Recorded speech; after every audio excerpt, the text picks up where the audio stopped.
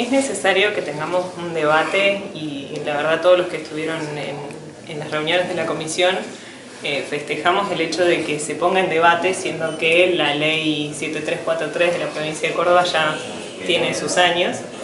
Este, consideramos que hay cosas nuevas para ver con respecto al ambiente, siendo que también Córdoba fue emblemática con respecto al, al caso de Ituzaingó Anexo, entonces sí es bueno que estemos debatiendo una nueva idea de proyecto de ley. El tema es, bueno, lo que contiene este proyecto de ley tiene bastantes cuestiones para, para analizar y la verdad que también se festejó bastante y estamos muy contentos del hecho de que hayan invitado a tanta variedad de gente y disertantes para su análisis. A grandes rasgos, ingeniera, y digo, ¿cuáles serían algunos aspectos para destacar de esta ley que lo decía usted, ¿no? que se han agregado? Em, a ver, es interesante y es muy importante que la provincia de Córdoba tenga un ordenamiento territorial, si bien ya hay leyes con respecto a eso, pero es importante que tenga eh, una aplicación, o sea, que realmente se haga. Otra cuestión interesante es que, por ejemplo, el estudio de impacto ambiental, si bien hasta ahora está nombrado en un decreto, ¿sí? en esta ley se pone como punto de ley.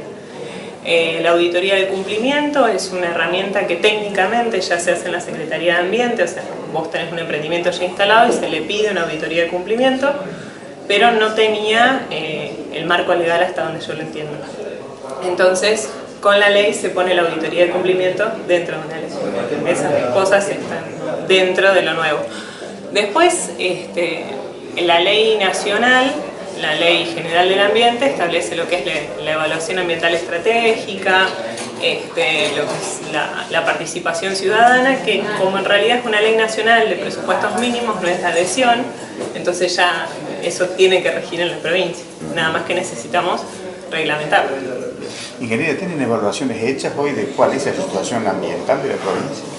Hay un montón de trabajos hechos.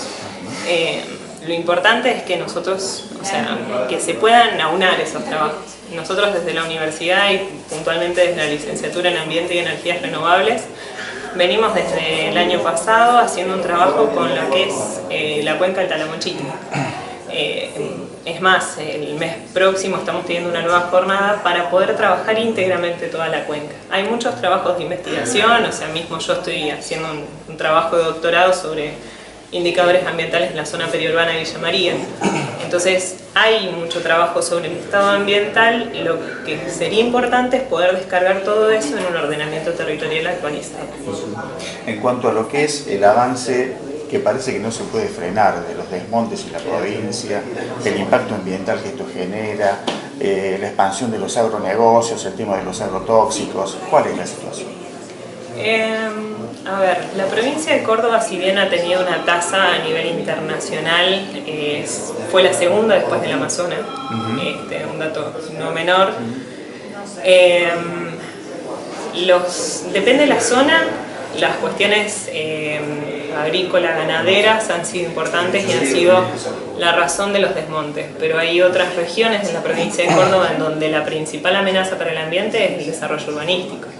Y muchas veces se pone el hincapié en que el desarrollo eh, agrícola, ganadero es el que genera el impacto ambiental más grande, la pérdida de montes y en todo el departamento de Punilla, en la zona de las sierras, no es la agricultura ni la ganadería, sino el desarrollo urbanístico, que es más, eh, tiene eh, componentes ambientales mucho más complejos que lo que puede tener una producción agropecuaria. Eh, me parece que cada uno de los elementos en el ambiente tienen que ser analizados y tienen que ser evaluados correctamente. Una producción agrícola con producción por fajas, como la tiene la provincia de Pampas por ley, es un tipo de producción con menor impacto, con alternativas de producción, este, que se puede hacer mucho mejor siempre es poder tener la normativa y la voluntad del trabajo. Hablando para finalizar de la cuenca de Calamochita, lo que ha ocurrido en, las últimas, en los últimos meses con la crecida del, río, eh, en base bueno, al, estudio que ustedes están realizando, ¿cuáles son las causas señalables, digamos, o, que se puedan ver, digamos, de, este comportamiento del río? Y también, bueno, por supuesto, esta situación de tantas lluvias eh, en la provincia de Córdoba y en la cuenca, principalmente del río Tercero.